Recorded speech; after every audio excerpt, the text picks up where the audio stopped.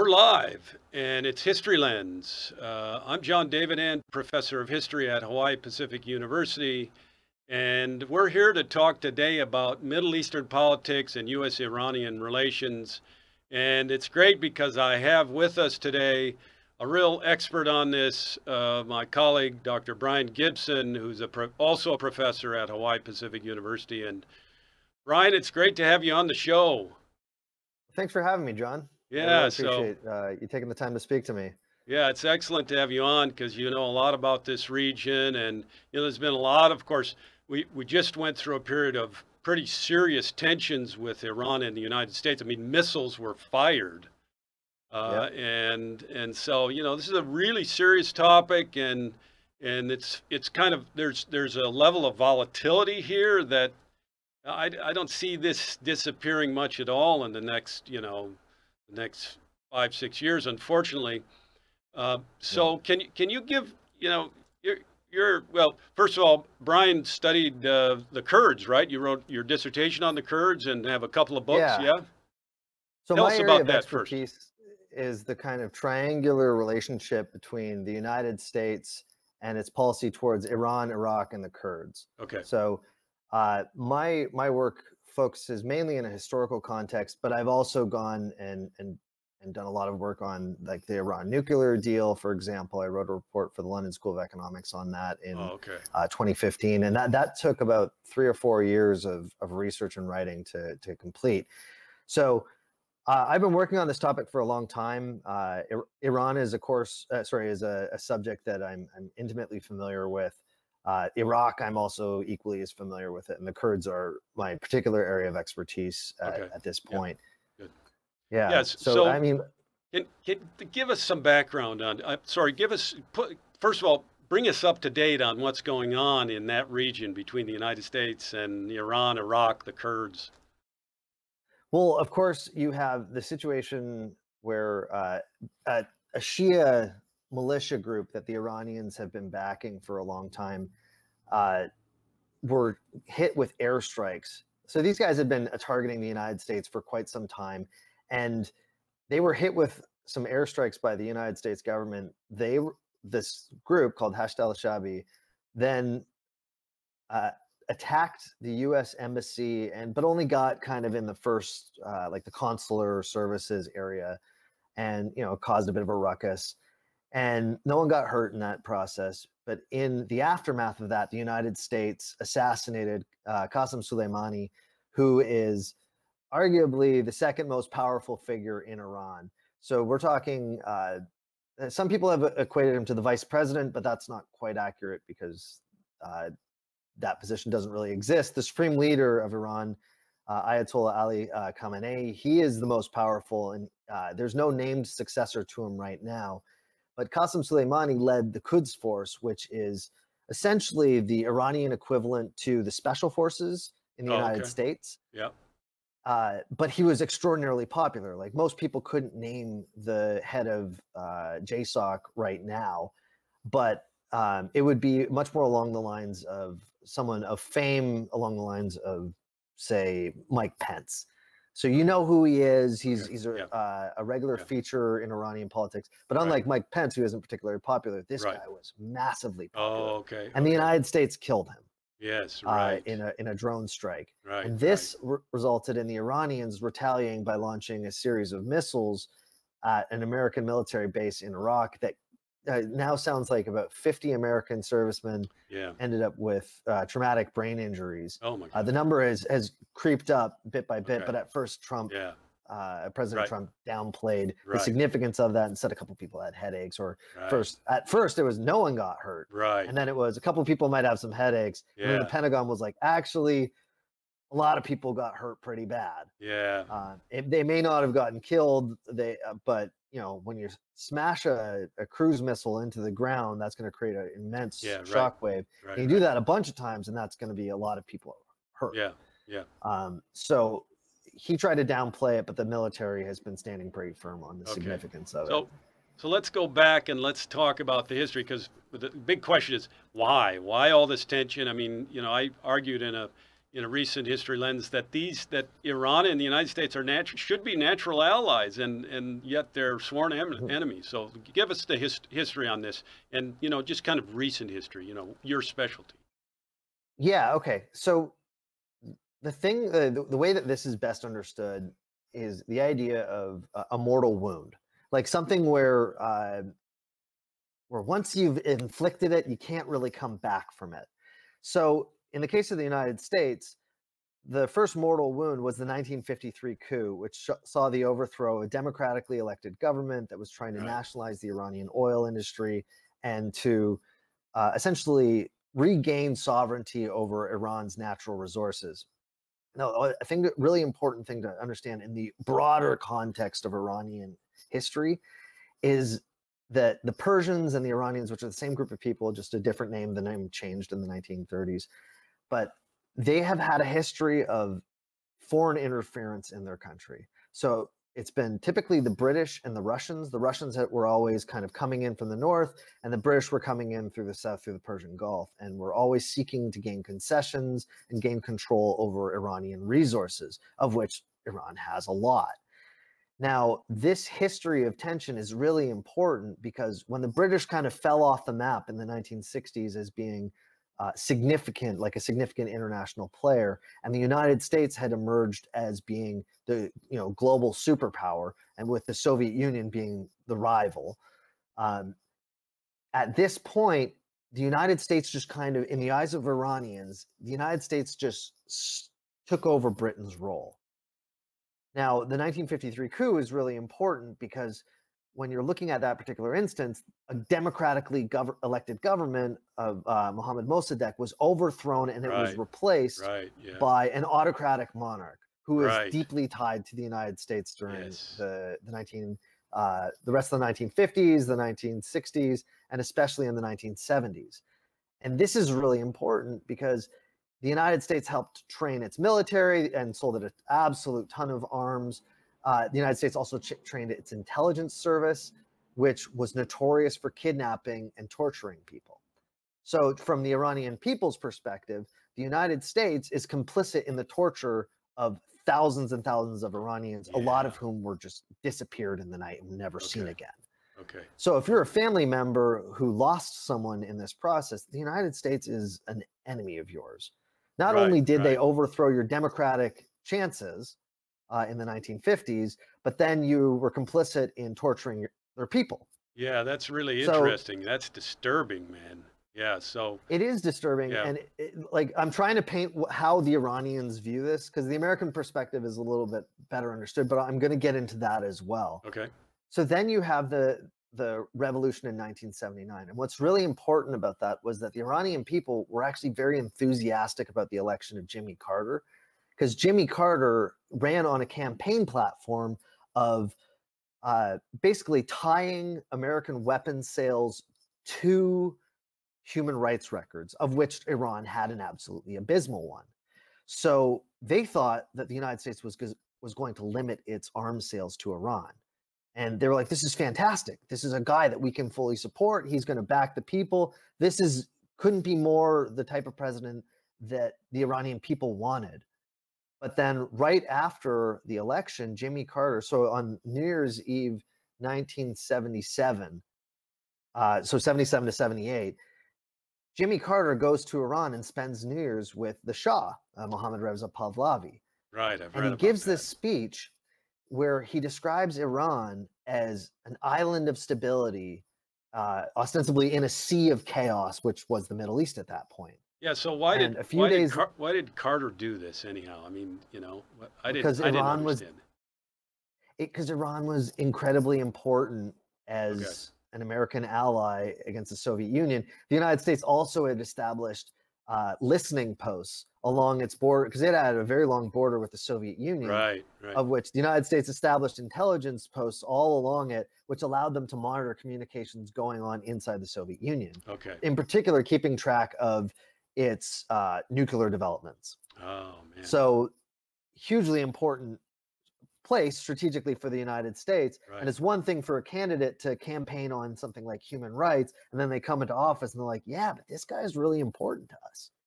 Yeah. So we have to placate him. we have to right, right. maybe not follow through with what we said.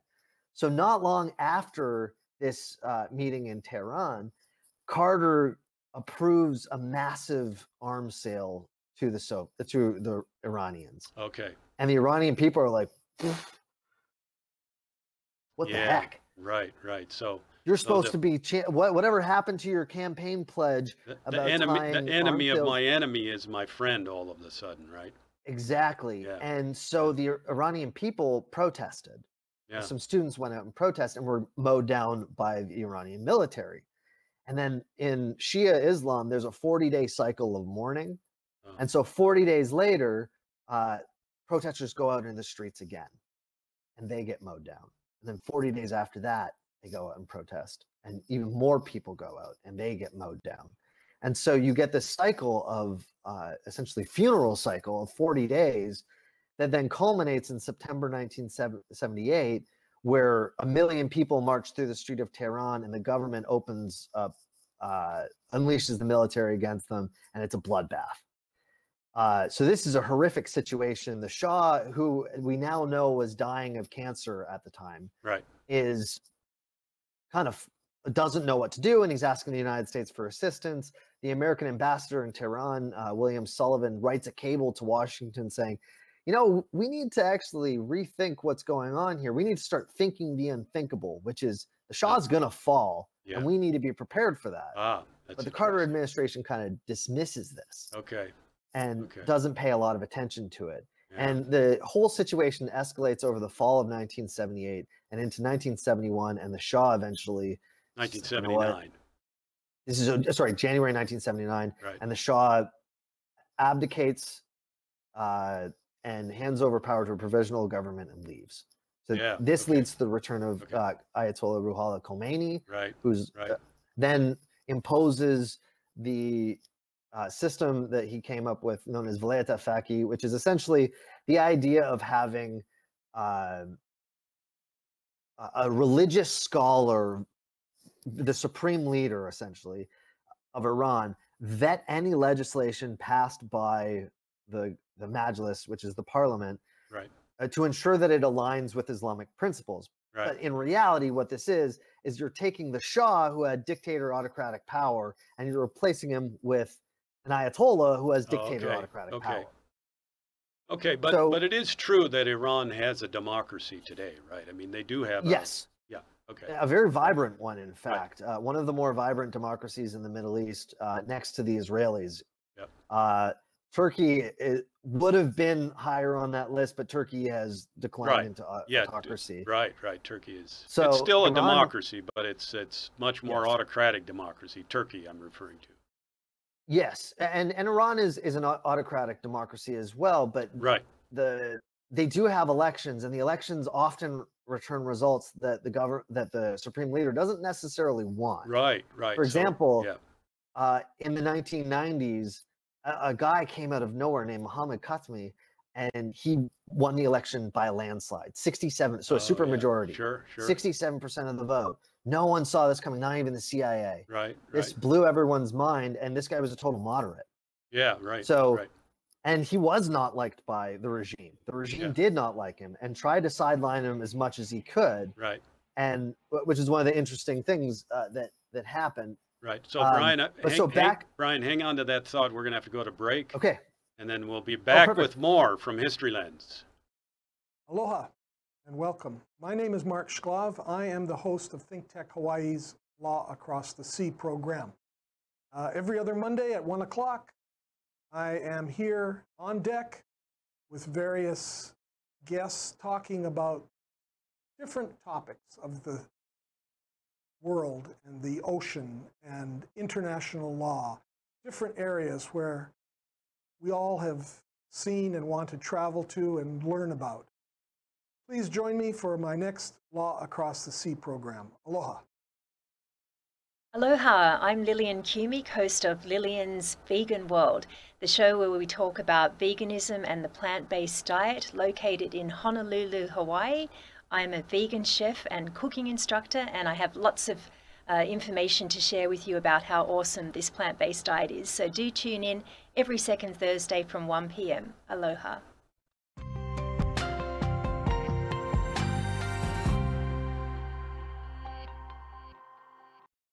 All right, we're back and we're live with Dr. Bryan Gibson, who's a professor, assistant professor of history at Hawaii Pacific University and a specialist on the Middle East. And Bryan, we were talking about uh, the the Iranian Revolution, actually, of 1979, the rise of the Ayatollah, and the situation in Iran. And and so, can you give us a little bit more information because this this causes a tremendous a transformation in Iran and really impacts the entire Middle East. Yeah, so in the aftermath of the Iranian Revolution, what's really quite curious is that the United States didn't think all was lost. They thought that they could potentially still maintain a relationship with the Iranian with the new Iranian regime Okay. and uh, establish a fruitful, beneficial relationship to both sides. Because as you said earlier on, they're kind of natural allies.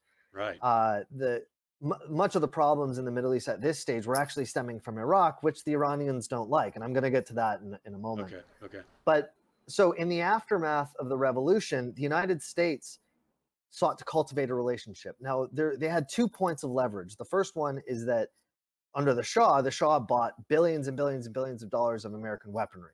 So that meant that they had an arms supply relationship where the US could leverage its arms supply relationship, the sale of weapons to Iran, because all of Iran's weapons were American. And if they need spare parts, there's only one place to get it the United States. Yeah, makes sense. Israel. Yeah. Yeah. Now, what gets really quite curious here is that the second one is intelligence. The United States had a pretty good read on what was going on in the region at the time and had good intelligence on what was going on in Iraq, particularly uh, through its contacts in the Kurdish minority that lives in northern Iraq. Now, in the early 19, in 19 throughout 1979, uh, things are kind of quiet. The United States is trying to pr- pass intelligence, or one thing that it passes on to the provisional government was that the Iran, the Iraqis were actually planning on invading Iraq. Now, Iran is imploding at this point. You see uh, situations where the military is being purged, where people are being killed and hung in the street, people who are considered collaborators. It's it's a violent, violent revolution, which a lot of revolutions are. Yeah. Interesting. Now, the situation with the United States changes dramatically in November on November 4th, 1979. And that's when a group of students storm the US embassy Right. and seize control of it and take 55, 55 Americans hostage for 444 days. Now, one of the curious little sidebars to that is that they actually let go all of the black um, Americans that were in the, the embassy at the time Really? because they didn't view African Americans as being American. oh, They view white okay. people as being Ah, Americans. I They're like, our problem isn't with you. You guys can go. Yeah. And one of them happened to be a very senior intelligence officer. Oh, So that's really interesting. their Wow. own uh, kind of racism, which worked out to the benefit of the black guys uh, who were in the embassy, black guys and women, Yeah, um, yeah. Ended up getting rid of a very important individual. Yeah. Um, and then, of course, there's the whole Canadian caper that involved uh, the spiriting out of right. uh, right. a bunch of Americans, which we saw in the movie Argo. Right. Now, this situation is devastating for the Carter administration, like just devastating. They spent uh, 444 days trying to get uh, the Americans uh, hostages out. They tried a dramatic rescue attempt that failed miserably, with resulting in the deaths of a number of special forces, and uh, and that was in April 1980. And things escalated. Uh, meanwhile, things were escalating with Iraq all along its border, where by April 1980 they're shelling each other regularly, and uh, uh, Ayatollah Khomeini had announced his intention to export the revolution abroad. Then you start seeing assassination attempts against Iraqi officials. You see the seizing of the Grand Mosque in, in Saudi Arabia. And everyone in the region, uh, amongst the Arabs especially, are deeply concerned that Iran is ex- exporting its revolution and is Oh, yeah. trying to overthrow everyone. Yeah. Right. Saddam Hussein, however, had just seized control of power in Iraq. Now, he had always been the shaker and mover behind the, the, Oh, okay. the scenes Yeah. from 1968 to 1979. And in 1979, he overthrew his uncle in a quite daring coup. Um, the story is quite crazy. Essentially, he walked in with uh, a bunch of guards into the president's palace and was like, "You're stepping down." And he was like, "What the heck?" And his Okay. uh, Hassan al-Bakr, the president's son, who was Saddam's cousin, Okay. uh, pulled out a gun and he said, uh, "Just so you know, we have your families right now, and if you don't step down, they will die." okay. It, it was a family affair, apparently. It was a family affair, and so Saddam seizes control. And you know, we know Saddam to be a megalomaniac, and he's not Right. someone who is going to just let go of power. Right. And th- which is an important theme throughout this uh, the next eight years. And so he has seized control of power, and then you see Iran trying to overthrow him. And so Right. Saddam launches an invasion of Iraq of Iran in uh, in on September 22nd, 1980. And this war is uh, essentially First World War style warfare, but with modern weapons. Okay. Okay. So it so, So- it's wave after wave of of soldiers just yeah, going and getting mowed human down. oh my waves. God. Uh, but so the Iraqi side was very heavily um, fortified. So they invaded Iraq and got bogged down very quickly in in their campaign. So they they made it, you know, uh, not even in the hundreds of miles into Iran. They did not make it particularly far before they they slowed down because of the winter rains. And over 1981 and in, into uh, June 1982, Iran regrouped and uh, managed to get a lot of people who were very, very passionate and very, uh, uh, dare I say, suicidal. Uh, oh, okay. Okay. Because uh, there within Shia Islam, there's a, a kind of a cult of uh, martyrdom Oh, okay. where to to die on behalf of Islam, you're going to heaven. That that's why there's suicide bombers and things like that, uh, which are prevalent within uh, Okay. uh, as a means of Islamic warfare. right, right. Now, So, So Bryan, they uh, would where, gather- where does where yeah. does the United States stand in this I'm new just about to get to that. Okay, yeah. Okay, so the Iranians regroup and they uh, launch these offensives with hun- like 300,000 people armed with handguns, cocktails, and AK-47, well, Okay. M16s, and they start throwing themselves at the Iraqis, and they ma- manage to secure a series of victories. And by June 1982, they are on the border with Iraq, and they are ready to invade. This Okay. spooks the Reagan administration Ah, okay. 'cause Okay. the Iranians have built up 300,000 troops outside of Basra, which is in the south uh, southeastern corner of Iraq. But it's also really close to Iraq's largest oil fields, and worse, it's really close to Kuwait and Saudi Arabia's oil fields. Ah, okay. And so the concern was that if Iran hammers through at Basra, seizes control of that, establishes a Shia puppet state that's Oh beholden gosh. to Iran, Right. and right. then pushes further south, takes the oil fields, well, then you're adding Iraq's oil to Iran's oil, right. which right. makes them the largest producer in the world. yes, right. Then, even slightly further to the south, Yeah. they have Kuwait, which has one of the largest oil Right, fields in the region. And if they push further beyond that, they have all the region's oil. yeah, right. So now, from an American perspective, that's unacceptable Right. because Iran would be able to dictate the global price of oil. Right. That and they yeah, could raise it as high as they right, right. want, tip the United States into a, a massive economic recession in Europe. They would have everyone in the world, you know, buy the marbles. To- So I- I, can't think of a so- better. Yeah, I, so right, so to speak. So I, I know Yes. you've done some research in this, and and so did the Americans?